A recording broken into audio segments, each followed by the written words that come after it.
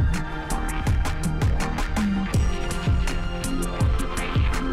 ಮಂಡ್ಯದಲ್ಲಿ ಎಷ್ಟು third class ರಾಜಕಾರಣಿಯ ನಡೀತಾ ಇರೋದು ಇನ್ನೆಲ್ಲೂ ನಡೀತಾ ಇಲ್ಲ. ಬೆಳೆದ್ರೆ ಸಿ ಆಗದೆ. ಈಗ ಉಡ್ಸೋದ್ ಮಕ್ಳ ಯಾಕಪ್ಪ ಉಡಿಸ್ತೆ ಅಂತ ನಂಗೆ ಆಗಿರ್ತದಲ್ಲ ಹಂಗಾಗದೆ ಸರ್ಕಾರಕ್ಕೆ ಏನ್ ಹೇಳಕ್ ಇಷ್ಟಪಡ್ತೀರಿ ಈ ತರ ರೈತರ ಕಷ್ಟಕ್ಕೆ? ಅಲ್ಲಿ ಎರಡು ಕಿತ್ಕೊಂಡು ಇಲ್ಲಿ ನಲ್ವತ್ತು ಹೋಯ್ತಾವ್ರೆ. ಜೀವನ ನಾನೇನೋ ಅನ್ಕಂದೆ ಕಾಲೇಜೆಲ್ಲ ಓದಿ ಕೆಲ್ಸಕ್ಕೆಲ್ಲ ಹೋಗಿದ್ದೆ ಏನೋ ಅನ್ಕಂದ್ ಬಂದ್ಬಿಟ್ಟೆ. ಇಲ್ಲಿ ಇದೆಲ್ಲ ನೋಡಿದ್ರೆ ತಿರ್ಗಾ ಯಾಕೋ ಬೆಂಗಳೂರಿಗೆ ಹೋಗೋ ಪರಿಸ್ಥಿತಿಲಿ ಇದ್ದೆ. ಏನ್ ಮಾಡ್ಬೇಕು ಸರ್ಕಾರ? ಬಿಜೆಪಿ ಸರಿ ಇಲ್ಲ ಕಾಂಗ್ರೆಸ್ ಸರಿ ಇಲ್ಲ ಜೆಡಿಎಸ್ ಡಿ ಎಸ್ ಸರಿ ಇಲ್ಲ ಅಂತ. ಮೂರು ಸರಿ ಇಲ್ಲ. ಈಗ ಒಂದು ತಿಂಗಳು ತಮಿಳ್ನಾಡಿಗೆ ಹೋಗಿದೆ. ಅವ್ರಿಗೆ ಅಲ್ಲಿಗೆ ಹೋದಾಗ ಲೇಡಿ ಲೇಡೀಸ್ ಲೇಡೀಸ್ಗಳಿಗೆಲ್ಲ ಗೌರ್ಮೆಂಟ್ ಬಸ್ಗಳಿಗೆಲ್ಲ ಫ್ರೀ ಉಚಿತ ಬಸ್ ಅಕ್ಕಿ, ಎಲ್ಲ ಹೆಂಗ್ ಕೊಡ್ತಾ ಇದಾರೋ? ನಮ್ಮ ಕರ್ನಾಟಕದಲ್ಲಿ ಎತ್ತು ಕೊಡೋಕ್ಕಾಗೋದಿಲ್ಲ ಅವ್ರ ಅವರೇ ಗುದ್ದಾಡ್ಕೊಂಡು ಸಾಯ್ತಾರೆ. ಪುನೀತ್ ರಾಜ್ಕುಮಾರ್ ಒಬ್ರು ತಾವು ಏನು ತಿಂದೇ ಇಲ್ಲ. ಇವ್ರು ಎಲ್ಲರೂ ತಾವು ತಿಂದವರ ರಾಜಕಾರಣಿಗಳು. ಇವ್ರು ಏನು ಮಾಡ್ತಾ ಇಲ್ವಲ್ಲ ಏನಕ್ಕೆ ಎಲ್ಲರೂ ತಾವು ತಿಂದಿಲ್ವ ಇವರು? ರಾಜಕಾರಣಿ ಅಷ್ಟು ಥರ್ಡ್ ಕ್ಲಾಸ್ ನನ್ನ ಮಕ್ಕಳು ಇನ್ಯಾರು ಇಲ್ಲ. ಸರಿನಾ? ಎಲೆಕ್ಷನ್ ನಿಂತ್ಕೋವಾಗ ಹತ್ತತ್ತು ಎಕರೆ ಮೂವತ್ ಮೂನ್, ಅಂದಾಜ್ ನಾನು ಹೇಳ್ತಾ ಇರೋದು ಹತ್ತತ್ತು ಎಕರೆ ಜಮೀನು ಇರ್ತದೆ. ಎಲೆಕ್ಷನ್ ನಿಂತು ನೆಕ್ಸ್ಟ್ ಇನ್ ಐದು ವರ್ಷಕ್ಕೆ ಹೋಗೋಟ ಪಿ ಇಪ್ಪತ್ತೈದು ಎಕರೆ ಮೂವತ್ತು ಎಕರೆ ಜಮೀನು ಎಲ್ಲಿ ಬರ್ತದೆ? ಒಟ್ಟು ಕೇಳಕ್ ಮಾತ್ರ ನಾನು ಅದು ಮಾಡ್ತೀನಿ, ಇದು ಮಾಡ್ತೀನಿ ಅಂತ ಮಾತ್ರ ಹೇಳ್ಬಿಟ್ಟು ಬರ್ತಾರೆ. ಈ ಟೈಮಲ್ಲಿ ಏನಾರ ಬಂದ್ರೆ ತಕ್ಕಂದು ಹೊಡಿತಾರೆ ಎಲ್ರಿಗೂ. ಎಂ ಪಿ ಎಲೆಕ್ಷನ್ ಮೂರು ವರ್ಷ ಆಯ್ತಾ ಸರ್? ಮೂರು ವರ್ಷದಿಂದ ಏನು ಮಾಡಿದ್ರು? ಅದು ಯಾವ್ದೋ ಕ್ವಾರ್ಯಾಗ ಹೋಗೋರೆ. ಕ್ವಾರ್ಯಾಗ ಯಾರ್ಯಾರ ಮನೆ ಕಟ್ಟಿದ್ದು ಎಷ್ಟೇರ ಸಿಕ್ತಿತ್ತೋ, ಈಗ ಅದನ್ನು ದುಬಾರಿ ಮಾಡಿ ನಿಗ್ರಿಸವ್ರೆ. ಅಂದ್ರೆ ಅವ್ರವ್ರು ಗುದ್ದಾಡ್ ಗುದ್ದಾಡ್ಕೊಂಡು ರೈತರನ್ನ ನಿಲ್ಲಿಸ್ತವ್ರೆ ಹೊರತು ರೈತರನ್ನ ಉದ್ದಾರ ಮಾ ಇಲ್ಲಿ ಮಂಡ್ಯದಲ್ಲಂತ ಯಾರು ಮಾಡ್ತಾ ಇಲ್ಲ.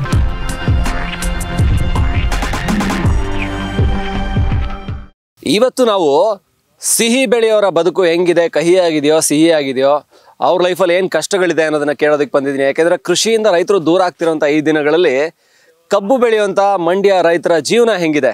ಬನ್ನಿ ಕೇಳೋಣ. ಕಬ್ಬು ಲೋಡ್ ಆಗ್ತಾ ಇದೆ. ಸರ್ ನಾವು ಅವ್ರನ್ನ ಮಾತಾಡಿಸ್ಬೇಕು, ಬನ್ನಿ.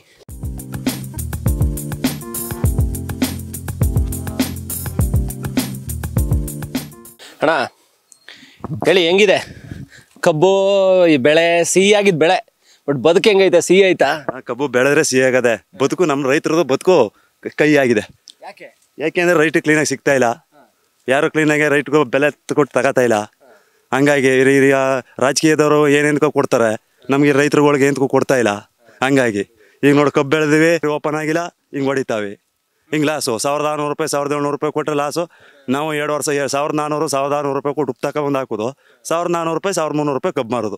ಹಂಗಾಗಿದೆ. ಅದಕ್ಕಾಗಿ ರೈತರು ಕೈ ಆಗಿದೆ ಲಾಸ್ ಆಗ್ತಾ ಇರೋದ್ರಿಂದ. ಅದಕ್ಕೆ ಎಲ್ಲ ಬಿಟ್ಟು ಬಿಟ್ಟು ಬಿಟ್ಬಿಟ್ಟು ಅದಕ್ಕೆ ಬೆಂಗಳೂರು ಹಿಂಗೆ ಎಲ್ಲೆಲ್ಲ ಹೊರಗಡೆ ಗಾರೆ ಕೆಲಸಕ್ಕೆ ಪರ ಕೆಲಸಕ್ಕೆ ರೈತರ ಕೆಲಸನೇ ಬೇಡ ಅಂದ್ಬಿಟ್ಟು ಹಂಗೆ ಹೊರ ಹೊರಗಡೆ ಹೋಯ್ತಾವ್ರ. ಅದಕ್ಕೆ ಗೇಯರು ಕಮ್ಮಿ ಆಯ್ತಾವ್ರ. ಸರ್ಕಾರ ಹೇಳುತ್ತೆ ನಾವು ಉತ್ತೇಜನ ಕೊಡ್ತಾ ಇದೀವಿ ರೈತರಿಗೆ ತುಂಬಾ ತರದಲ್ಲಿ ಅಂತ ಯಾವ ಗೊತ್ತೆ ಎಲ್ಲೂ ಕೊಡ್ತಾ ಇಲ್ಲ. ಅವಾಗ ಭತ್ತ ಸಬ್ಸಿಡಿ ಕೊಡ್ತಿದ್ರು ಫಸ್ಟು ಭತ್ತ ಸಬ್ಸಿಡಿ ನಿಲ್ಸಿದ್ರು. ಅಲ್ಲಿ ಏಳ್ನೂರು ಎಂಟುನೂರು ರೂಪಾಯಿ ಭತ್ತ ತಗೋತೀವಿ. ಅದಕ್ಕೆ ಮಾರಿದ್ರೆ ಸಾವಿರದ ಮುನ್ನೂರು ರೂಪಾಯಿ ಸಾವಿರದ ಇನ್ನೂರು ರೂಪಾಯಿ ಬೆಲೆ ಕೊಡ್ತಾರೆ. ನಮ್ಗೆ ಸಿಗೋದು?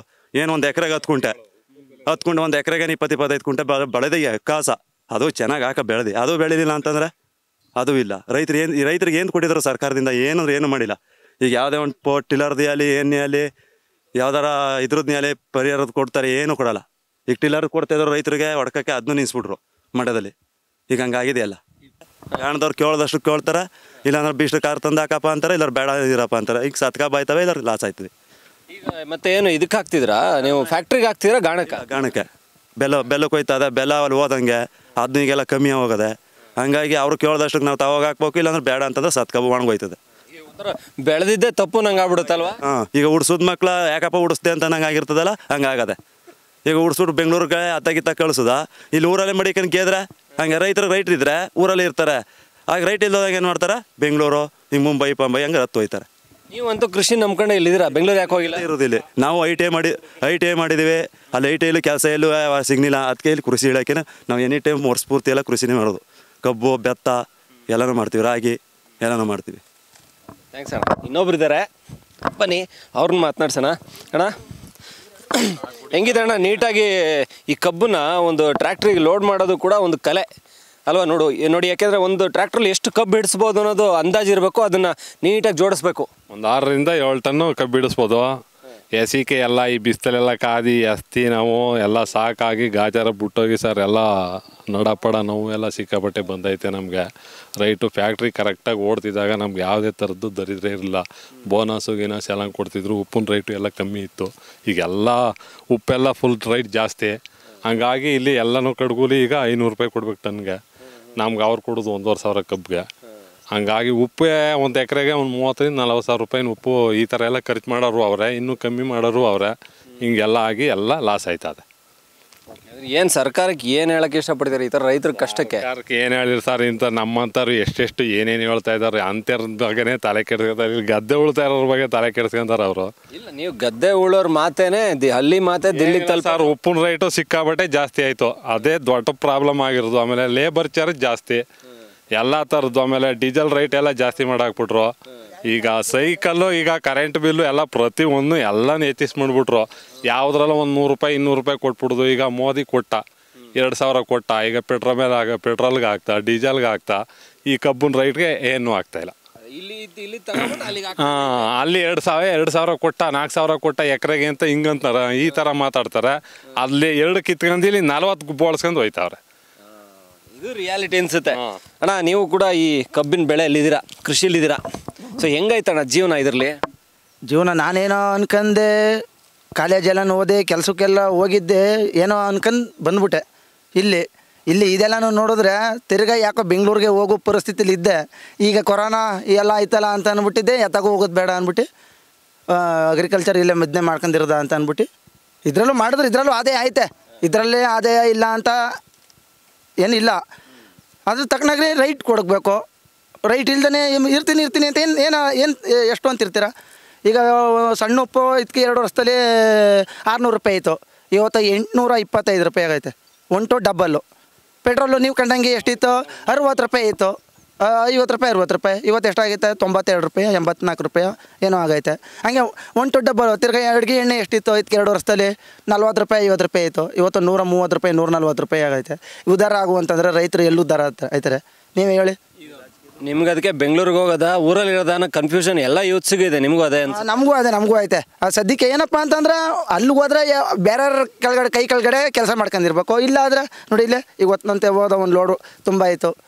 ಒಂದು ಐನೈನೂರು ರೂಪಾಯಿನಾರು ಸಿಗ್ತದೆ ಇವಾಗ. ಐನೈನೂರು ರೂಪಾಯಿ ಮಾಡ್ಕೊಂಡು ಅಟ್ಟಿಗೆ ಹೋಗ್ಬೋದು, ಮನೆಗೆ ಹೋಗ್ಬೋದು. ಹೋದ ತಕ್ಷಣ ನಿಮ್ದು ಇರುವಲ್ಲ ಖರ್ಚು.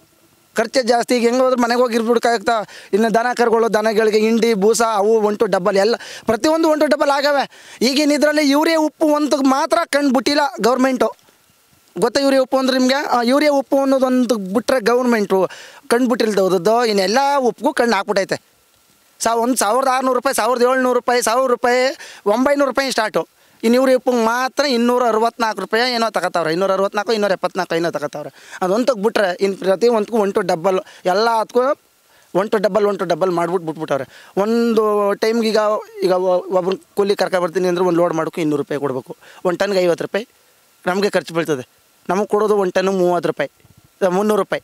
ಮುನ್ನೂರು ರೂಪಾಯಿಲಿ ಅವ್ರಿಗೆ ಐವತ್ತು ರೂಪಾಯಿ ಹೋಯ್ತು. ಡೀಸಲು ಆಳು ಮೂಳು, ಖರ್ಚು ಹಿಂಡಿ ದನ, ಹಿಂಡು. ಅಲ್ಲಿ ಏನು ಉಳ್ಕೊತಾ ಇಲ್ಲ. ಏನಪ್ಪ ಮಾಡಬೇಕು ಮಾಡ್ತಾವೆ. ಅಷ್ಟು ಬಿಟ್ರೆ ಇನ್ನೇನು ಇಲ್ಲ. ಫೈನಲ್ ಈಗ ಯುವಕರಿಗೆ ತುಂಬ ನಾವು ಉತ್ತೇಜನ ಕೊಡ್ತಾ ಇದೀವಿ. ಯುವಕರು ದೇಶದ ಭವಿಷ್ಯ ಅಂತ ಹೇಳ್ತಾರೆ. ಸೊ ಏನು ಹೇಳಕ್ಕೆ ಇಷ್ಟಪಡ್ತೀವಿ ಸರ್ಕಾರಕ್ಕೆ ಏನು ಹೇಳಕ್ಕೆ ಇಷ್ಟಪಡ್ತೀರಾ? ಏನು ಮಾಡ್ಬೇಕು ಸರ್ಕಾರ? ಸರ್ ಇತ್ತಾಗೆ ಬಿ ಜೆ ಪಿ ಸರ್ಕಾರ ಬಂದರು ನಾವು ಒಬ್ರಂತಾರೆ ಬಿ ಜೆ ಪಿ ಸರಿ ಇಲ್ಲ ಕಾಂಗ್ರೆಸ್ ಸರಿ ಇಲ್ಲ ಜೆ ಡಿ ಎಸ್ ಸರಿ ಇಲ್ಲ ಅಂತ. ಮೂರು ಸರಿ ಇಲ್ಲ. ಎಲ್ಲ ನಿಂತು ಇದರಲ್ಲಿ ತಮಿಳ್ನಾಡಲ್ಲಿ ಯಾರೋ ಲೇಡಿ ಲೇಡಿ ಈಗ ಒಂದು ತಿಂಗಳು ತಮಿಳ್ನಾಡಿಗೆ ಹೋಗಿದೆ. ಅವ್ರಿಗೆ ಅಲ್ಲಿಗೆ ಹೋದಾಗ ಲೇಡಿ ಲೇಡೀಸ್ ಲೇಡೀಸ್ಗಳಿಗೆಲ್ಲ ಗೌರ್ಮೆಂಟ್ ಬಸ್ಗಳಿಗೆಲ್ಲ ಫ್ರೀ ಉಚಿತ ಬಸ್ಸು ಅಕ್ಕಿ ಎಲ್ಲ ಹೆಂಗೆ ಕೊಡ್ತಾ ಇದ್ದಾರೆ ನಮ್ಮ ಕರ್ನಾಟಕದಲ್ಲಿ ಎತ್ತು ಕೊಡೋಕ್ಕಾಗೋದಿಲ್ಲ ಅಲ್ಲಿರೋ ಜಮೀನೇ ಅಲ್ವಾ, ಇಲ್ವಾ? ಇಲ್ಲಿ ಊಟ ಮಾಡೋರೇ ಅಲ್ವಾ, ಅಲ್ಲೂ ಊಟ ಮಾಡ್ತಾ ಇರೋದು? ಅದು ಬಿಟ್ಟು ಏನು ನೀನೇನು ಮಾಡ್ತಾ ಇದ್ದಾರೋ ಏನು ಕೊಡೋಕ್ಕಾಗಲ್ಲ ನಮ್ಮ ಕರ್ನಾಟಕದಲ್ಲಿ ಅಂತ ನಾನು ಕೇಳೋದು. ಅವ್ರು ಅವರೇ ಗುದ್ದಾಡ್ಕೊಂಡು ಸಾಯ್ತಾರೆ. ಅಯ್ಯೋ ಕುಮಾರಸ್ವಾಮಿ ಸರಿ ಇಲ್ಲ ಅಂತ ಅನ್ನೋದು. ಈಗ ಪುನೀತ್ ರಾಜ್ಕುಮಾರ್ ಇದ್ದರು ಅವ್ರು ಏನು ಮಾಡಲಿಲ್ಲ? ಎಷ್ಟು ಜನ ಹೊಗಳ್ತಾ ಇದ್ದಾರೋ ರಾಜಕಾರಣ ಅಷ್ಟು ಥರ್ಡ್ ಕ್ಲಾಸ್ ನಮ್ಮ ಮಕ್ಕಳು ಇನ್ಯಾರೂ ಇಲ್ಲ. ಸರಿನಾ? ಇಷ್ಟು ಬಿಟ್ಟರೆ ಇನ್ನೇನು ಇಲ್ಲಿ ಮುಂದಕ್ಕೆ ಬರಲ್ಲ. ಯಾಕಂದ್ರೆ ಪುನೀತ್ ರಾಜ್ಕುಮಾರ್ ಅವ್ರ ಸಾರ್ ಪಾಪ, ಯಾಕೆಂದ್ರೆ ಇಡೀ ದೇಶನೇ ಕೊಂಡಾಡ್ತಾ ಇದೆ ಅವರು. ದೇಶ ಯಾಕೆ ಹೊರಗಡೆ ದೇಶನೂ ಕೊಂಡಾಡ್ತಾ ಇದೆ ಪುನೀತ್ ರಾಜ್ಕುಮಾರ್ನ. ಅವರೇ ಹಂಗೆ ಕೊಂಡಾಡ್ತಾ ಅವ್ರನ್ನ ಕೊಂಡಾಡ್ತಾ ಇರ್ಬೇಕಂದ್ರೆ ಅವ್ರ ಅಪ್ಪ ಅವರು, ಅವ್ರ ಪುನೀತ್ ರಾಜ್ಕುಮಾರ್ ಒಬ್ಬರು ತಾವು ಏನೂ ತಿಂದೇ ಇಲ್ಲ. ಇವ್ರು ಎಲ್ಲರೂ ತಾವು ತಿಂದವ್ರ ರಾಜಕಾರಣಿಗಳು. ಇವರು ಏನು ಮಾಡ್ತಾ ಇಲ್ವಲ್ಲ ಏನಕ್ಕೆ ಎಲ್ಲರೂ ತಾವು ತಿಂದಿಲ್ವ ಇವರು? ಎಲೆಕ್ಷನ್ಗೆ ನಿಂತ್ಕೋವಾಗ ಹತ್ತತ್ತು ಎಕರೆ ಮೂವತ್ತು ಮೂರು ಅಂದಾಜು ನಾನು ಹೇಳ್ತಾ ಇರೋದು ಹತ್ತತ್ತು ಎಕರೆ ಜಮೀನು ಇರ್ತದೆ. ಎಲೆಕ್ಷನ್ಗೆ ನಿಂತು ನೆಕ್ಸ್ಟ್ ಇನ್ನು ಐದು ವರ್ಷಕ್ಕೆ ಹೋಗೋಷ್ಟೊತ್ತಿಗೆ ಇಪ್ಪತ್ತೈದು ಎಕರೆ, ಮೂವತ್ತು ಎಕರೆ ಜಮೀನು.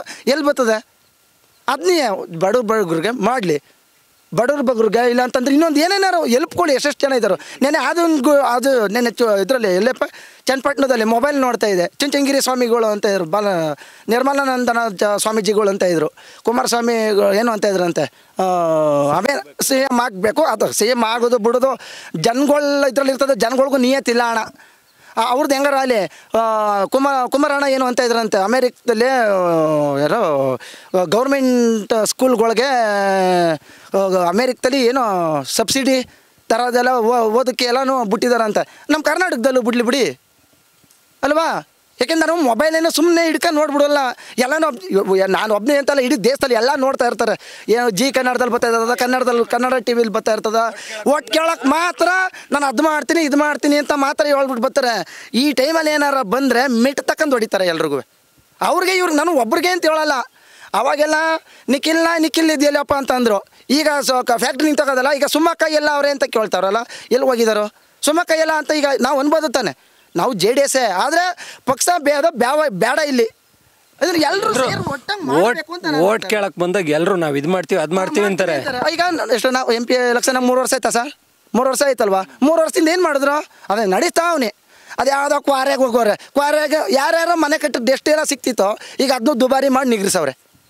ರೈತ ಯಾಕೆಂದ್ರೆ ಅವ್ರವ್ರು ಗುದ್ದಾಡ್ಕೊಂಡು ಗುದ್ದಾಡ್ಕೊಂಡು ರೈತರನ್ನ ನಿಲ್ಲಿಸ್ತವ್ರೆ ಹೊರತು ರೈತರನ್ನ ಉದ್ಧಾರ ಮಾ ಇಲ್ಲಿ ಮಂಡ್ಯದಲ್ಲಿ ಅಂತ ಯಾರೂ ಮಾಡ್ತಾ ಇಲ್ಲ. ಬೇರೆ ಕಡೆ ಮಾಡ್ತಾ ಇದ್ರೆ ಏನೋ ಗೊತ್ತಿಲ್ಲ ಮಂಡ್ಯದಲ್ಲಿ ಎಷ್ಟು ಥರ್ಡ್ ಕ್ಲಾಸ್ ರಾಜಕಾರಣಿಯ ನಡೀತಾ ಇರೋದು ಇನ್ನೆಲ್ಲೂ ನಡೀತಾ ಇಲ್ಲ. ಓಕೆ ನೋಡಿ, ಯುವಕರ ಮಾತುಗಳು, ಇದು ಇಡೀ ನಮ್ಮ ಒಂದು ರಾಜ್ಯದ ಮಾತುಗಳು ಅಂತ ಹೇಳ್ಬೋದು. ಇವ್ರು ಹೇಳ್ತಾ ಇದ್ದಾರೆ ಮಂಡ್ಯದ ಜೀವನ ಕಷ್ಟ, ಮಂಡ್ಯದ ರಾಜಕಾರಣಿಗಳು ಹಿಂಗಿದ್ದಾರೆ ಅಂತ. ಆದರೆ ಬರೀ ಮಂಡ್ಯ ಅಲ್ಲ, ಇಡೀ ನಮ್ಮ ದೇಶದಲ್ಲೇ ಹೀಗೆ ಇದೆ. ಪ್ರತಿಯೊಬ್ಬ ರಾಜಕಾರಣಿಗಳ ಬಗ್ಗೆ, ಪ್ರತಿಯೊಬ್ಬ ಪ್ರತಿನಿಧಿಗಳ ಬಗ್ಗೆ ಕೂಡ ಅಸಮಾಧಾನನೇ ಇದೆ.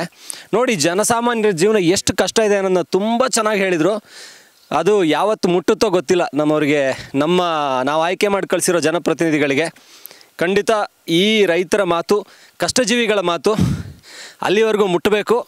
ಮುಂದಿನ ಎಲೆಕ್ಷನ್ನಲ್ಲಾದರೂ ಬದಲಾವಣೆ ಬರಬೇಕು ಅನ್ನುವಂಥದ್ದು ಕರ್ನಾಟಕ ಟಿ ವಿಯ ಆಶಯ. ಕ್ಯಾಮ್ರಾ ಪರ್ಸನ್ ರೂಪೇಶ್ ಜೊತೆ, ಓಂ, ಕರ್ನಾಟಕ ಟಿ ವಿ ಇದು ಕನ್ನಡಿಗರ ಧ್ವನಿ.